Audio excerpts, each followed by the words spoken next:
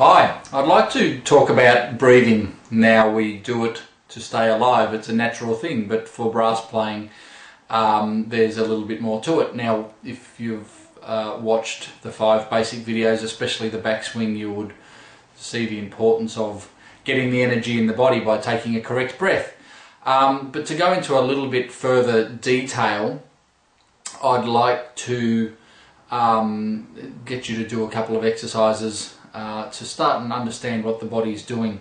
Now, the backswing can be quite an expansion throughout the whole system, but what I want to do is actually start and get um, the breathing down lowering the body for the start of the breath, and that requires releasing um, the lowering the diaphragm, but we do that by the in the way of releasing the abdominal muscles and letting them sort of basically where your belly button is hang out. So when when uh, you release the abdominal muscles, uh, you've got the abdominal muscles, you've got the diaphragm sits on top, then you've got the rib cage on top of that. So I want you to imagine that when you release the abdominal muscles, the, uh, the diaphragm's like basically a plunger. The abdominals are the springs, then you've got the plunger, and the plunger goes up within the rib cage now, if I can get you to understand how to operate the springs, which is the abdominal muscles, then we'll be able to get the diaphragm all the way down, which allows you to fill up the bottom of the lungs. Okay, so what I'm going to get you to do is put your left hand on your navel, on your belly button, and your right hand underneath that, and then push. And push all the air out until you're completely empty. Now you'll feel that grip. Now keep your throat nice and relaxed and open. Now once you release the pressure from your hands, I want you to let your belly fall out. Now that can feel quite weird for a lot of people. Um, we wear belts and tight pants and all that sort of stuff, so we're not used to letting our belly hang out. But what I want you to do, after you've pushed in,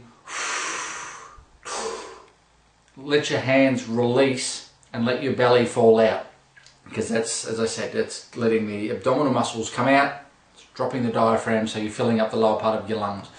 In any breath, we want to start by doing that release of the navel. So if you try it a few times, you push,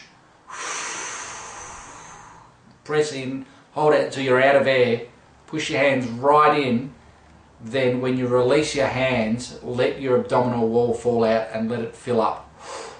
Now it's instantly opening up a vacuum in your body because there's a bigger space now, the diaphragm's dropping, so there's this vacuum that air has to go into. So it's a natural, okay, by doing nothing except relaxing muscles, which is quite a nice thing to be able to get some energy for nothing. So in order to improve your efficiency, you want to get the body to do as much as it can naturally, and this is one of the major things. So put your hands on your belly button, left hand on belly button, right hand underneath it, push your air out until you're empty, then release your hands. And you can hear the air come in. Now I still haven't taken any breath up into the chest. Um, there are different schools of thought as to breathing. I've had Roger Ingram in my room, in my studio here going, well, if you've got to play lead trumpet for Harry Connick Jr., you need to get all the compression in your body that's possible. But the very first step, regardless of whether you do that, I've seen Jim Manley, an amazing, fantastic trumpet player, and he just keeps everything nice and low.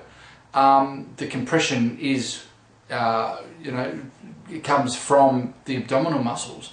Um, but as, as Roger goes, if you need to play these long, high, extended, loud lines, you need all the air and energy in the body that is required. So neither of these guys are right or wrong um, and there's a lot of thoughts about it, but the basic fundamentals are, whether you're taking a small breath or a, a, a really deep breath, um, the release of the abdomen, of the belly button there, of your navel, is the first step. Now then, if you want to get into a compression breath, pull the belly button straight back in, and this is where we get into Bobby Shew's wedge breath, is that the navel comes back into the spine now there's your locking compression there. So from the release to pull the belly button back in. Now they're both intakes of air.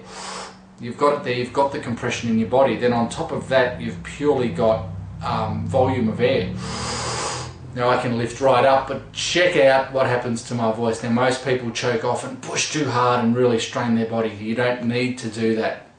Um, you just need to get the the air in and get the compression from the abdominal muscles and I've got all the uh, the energy there that's required to play all over the instrument.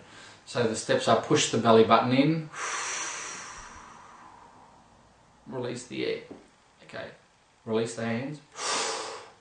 Okay, so that's the first step of a breath. Then if you want to keep more air coming in, pull the belly button back in. That's going to give you big compression to be able to play in, in the upper register. Then fill up, take more air in. Now just sit on the air. You can feel that the um, the abdominal muscles are supporting the rib cage. Now Claude Gordon says play with a, a raised rib cage, and these schools of thought can often come across as quite contrary. Yet at the same time, um, we are expanding the rib cage. Now the uh, the issue perhaps can be if you expand your ribs too far forward, you're going to arch the lower part of your spine and you'll get a you'll get a curve in that. Now when you're getting compression, you want your spine to be exactly straight. So that's why um, we want to breathe straight up. So there's breathing straight up, keeping your spine straight and don't bend back too much at all. Now, mind you, what I'm talking about here is for, for big compression in the upper register. Now, you don't need to get all this massive compression in um, to play in the lower register or even medium uh, up to say a high C and D and E even. Um, so if you get the backswing but you allow that bottom part of the breath to release, the bottom part of, you know, from your navel when I do the backswing, the very first thing that happens is the release of the navel.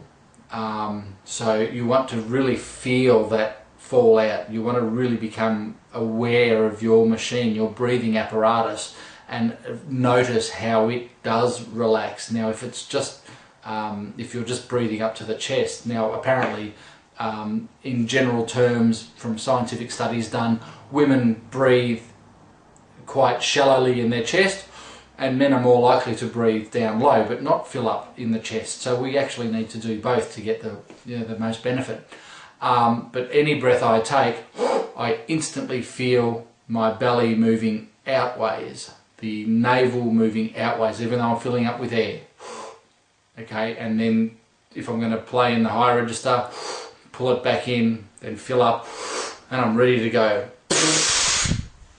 Okay, go through those steps um, and you'll start to recognize what your abdominal wall is doing. So to recap, left hand, belly button. Right hand below. Now push all of your air out. Then release your hands and allow the abdominal wall to fall out and just take some air in. Now it's not a full breath there, it's not like 100% of your breath, it's just an amount of air based on the release of the abdominal muscles. That's the first step, the release there. And I do that no matter what breath I'm taking, whether it's just a, a backswing for regular playing or a, a real compression breath for the upper register. Um, every time I release the navel.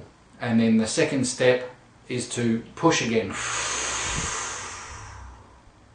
Okay, until you're empty, then release. Hold, then push. Hold it, you'll feel your abdominal muscles working. And then release it again. Get used to that sensation. That's the first part of the breath. Okay, I hope that helps. Now, check out the site. Feel free to um, send me any video requests or, um, yeah, basically enjoy your practice and enjoy the trumpet. Ciao.